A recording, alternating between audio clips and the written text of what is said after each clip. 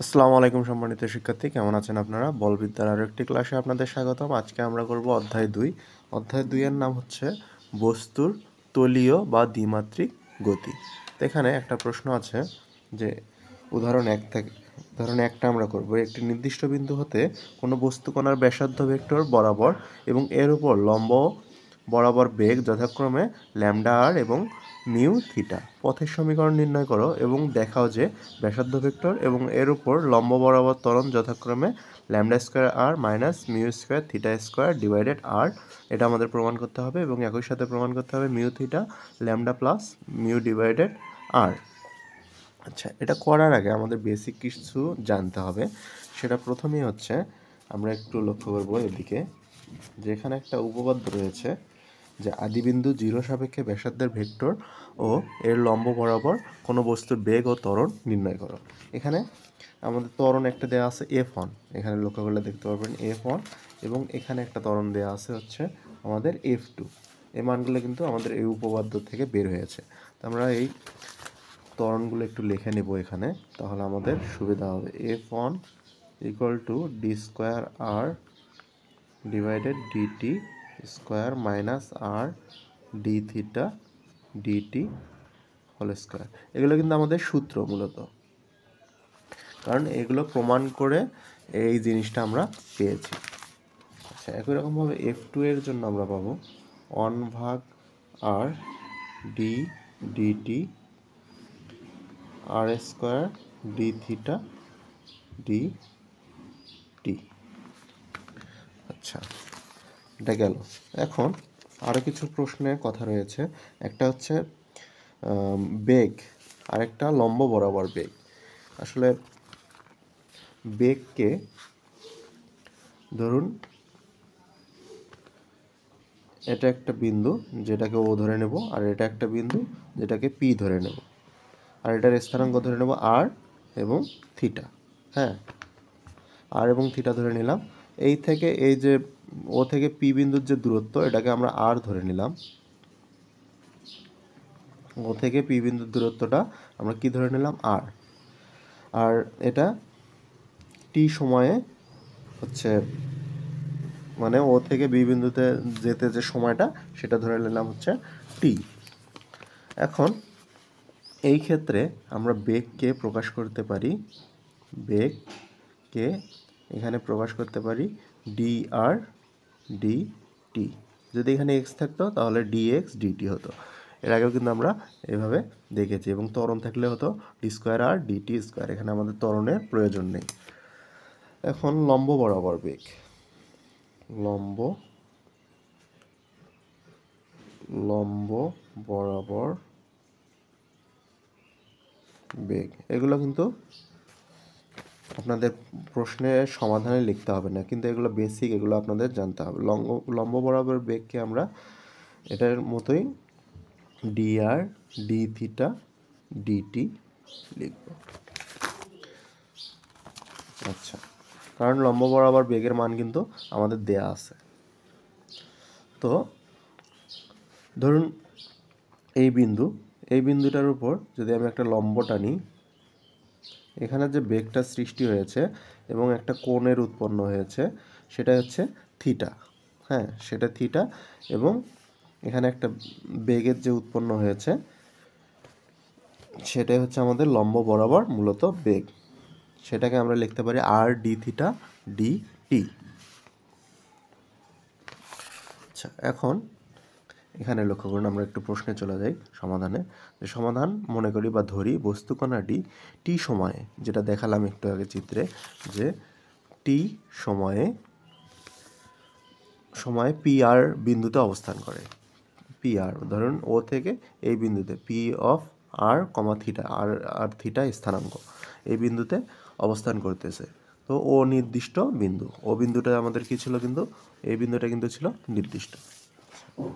এখন ওপি বরাবর আমাদের যে বেগ ওপি বরাবর যে বেগ ডিআর ডিটি সেটা কিন্তু আমরা লিখে নিয়েছিলাম খাতায়।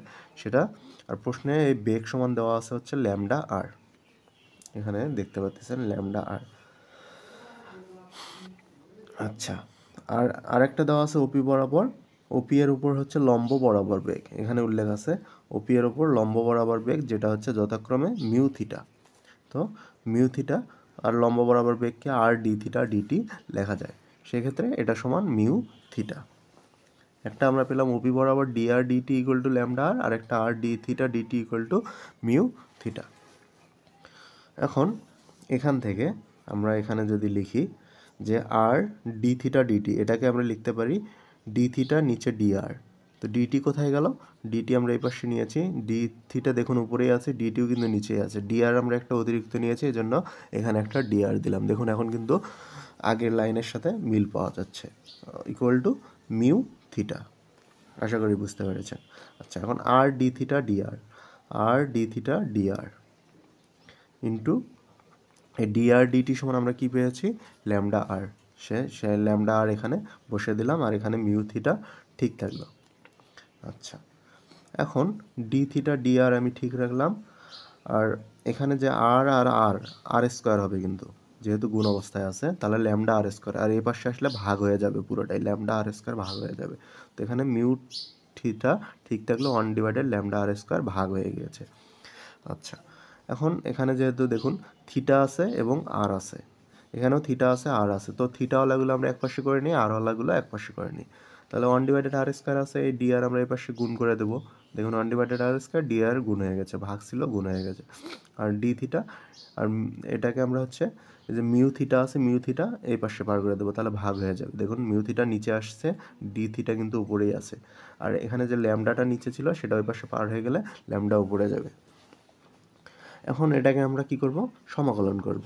সমাকলন করলে কি পাবো? দেখুন, এখানে ওয়ান ডিভাইডেড আর স্কোয়ার আছে। আমরা যদি আর স্কোয়ারকে সমাকলন করি। ওয়ান ডিভাইডেড আর স্কোয়ার এটাকে সমাকলন কীভাবে করব? আর স্কোয়ারটা উপরে তুলে নেবেন, তাহলে ইনভার্স হয়ে যাবে। আচ্ছা সমাকলনের ক্ষেত্রে পাওয়ারের সাথে এক যোগ হয় এবং পাওয়ারটা নিচে চলে আসে। যোগ হওয়া পাওয়ার সহ নিচে চলে আসবে। তাহলে সেই ক্ষেত্রে আমি এখানে কত পাচ্ছি? আর মাইনাস ওয়ান আর নিচে পাচ্ছি মাইনাস ওয়ান তার মানে এটাকে যদি আমি আবার নিচে দিই আর ইনভার্স ওয়ান মানে কি? আর মাইনাসটা আমি সামনে লিখলাম, এই মাইনাসটা আর আন ইনভার্স মানে কিন্তু হচ্ছে লেখা যায় ওয়ান ভাগ আর আর এই ওয়ান লিখলেও হয়, না লিখলেও হয়। দেখুন, এখানে কিন্তু লেখা আছে মাইনাস ওয়ান ভাগ আর একবারে লেখা আছে।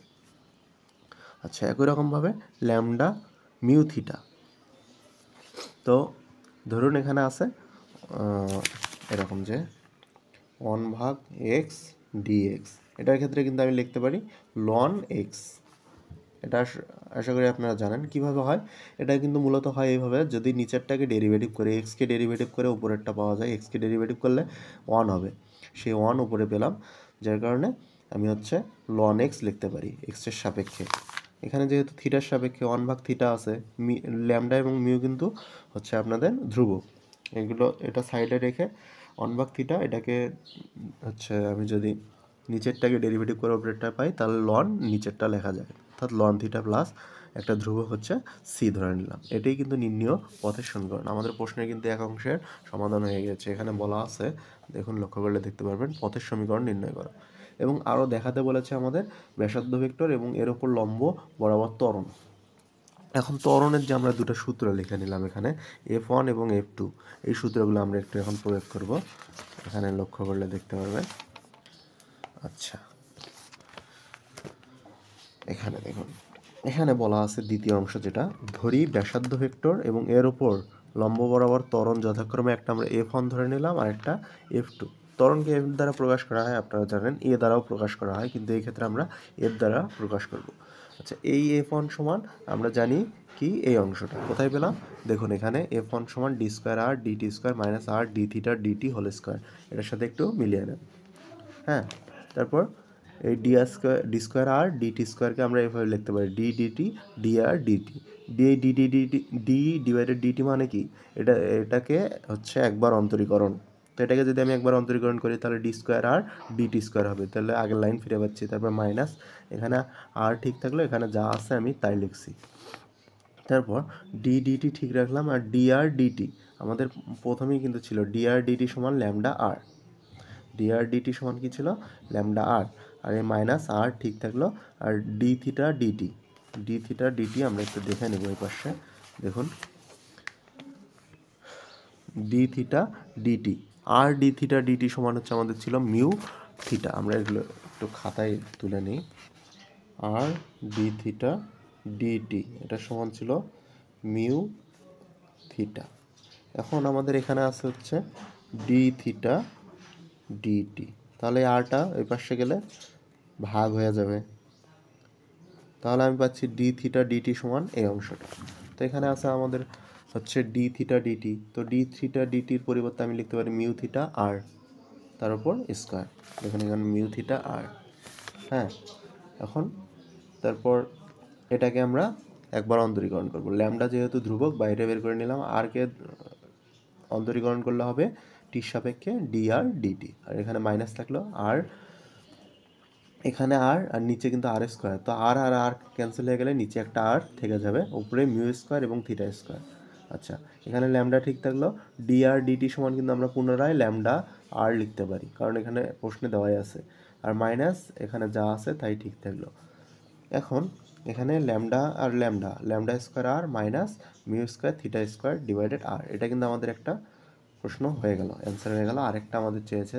যেটা এফ টু এর জন্য। এফ টু এর সূত্রটা আমরা কি লিখেছিলাম? দেখুন, এখানে লক্ষ্য করলে one divided R DTT DDT R square D theta DT এখানে কিন্তু তাই লেখা আছে, দেখুন, লক্ষ্য করলে দেখতে পারবেন। ওয়ান ডিভাইডেড আর ঠিক রাখলাম ডিডিটি ঠিক রাখলাম আর স্কোয়ার ঠিক রাখলাম।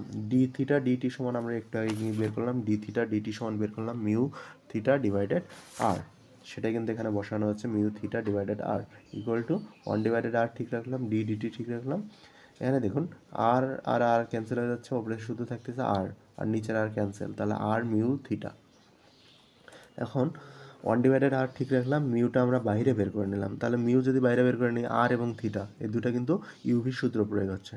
তাহলে আমরা যদি একটা ইউ ধরে নিই, ধরুন থিটা ইউ ইউ থিটা স্থির আরকে করলে হবে ডি আর ডিটি একই রকমভাবে আর স্থির থিটাকে করলে হবে d theta dt equal to এখন মিউ ডিভাইডেড আর এই মিউ থাকল এখানে উপরে আর নিচে আর থাকল। আর থিটা এখানে অবশিষ্ট থাকল ডি আর ডিটি সমান আমরা লিখতে পারি ল্যামডা আর এটা প্রশ্নের থেকে। প্লাস আর ঠিক থাকল ডি থিটা ডিটি সমান মিউ থিটা ডিভাইডেড আর এটাও লিখতে পারি। এই যে এখান থেকে, ধরুন। মিউ থিটা, বা আমরা এখানে বের করে নিচ্ছি ডি থিটা ডিটি সমান মিউ থিটা ডিভাইডেড আর সেটাই লেখা হয়েছে। এখন মিউ ঠিক থাকল। দেখুন এখানে নিচে একটা আর আছে। আচ্ছা এ আর এবং এ আর কিন্তু ক্যান্সেল হয়ে যাচ্ছে।